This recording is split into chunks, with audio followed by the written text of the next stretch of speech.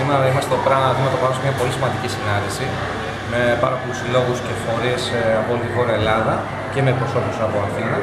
όπου συζητάμε το τοπίο της ε, ορθής διαχείρισης απορριμμάτων και πώς έχει διαμορφωθεί αυτό μετά τον νέο εθνικό σχεδιασμό που ψηφίστηκε από τη νέα κυβέρνηση. Ε,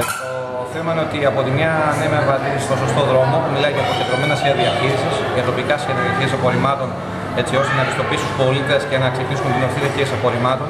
που δεν θα στηρίζει την καύση και στην ταφή απορριμμάτων. Ε, το πρόβλημα όμως το μεγάλο είναι από την άλλη μεριά ότι αυτή τη στιγμή έχουν ε, προταθεί στην ουσία κάποιοι περιφερειακοί σχεδιασμοί, αρχιδιονωμένοι και με τον περιφερειακό σχεδιασμό της ε, Κεντρικής Μακεδονίας, που εξακολουθεί να μιλά για υπέρμετρες και γιγάντιες κατασκευές ΣΜΑ,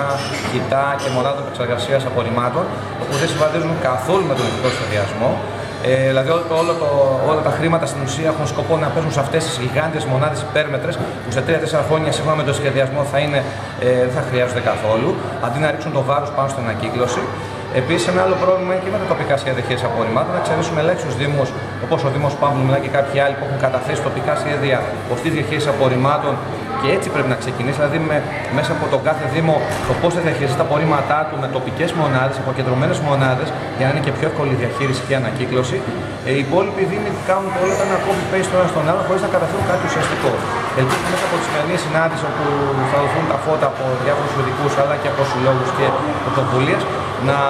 γίνει ανάληψη δράσεων τόσο σε τοπικό επίπεδο από τοπική αυτοδιοίκηση, αλλά και να επηρεαστούν οι,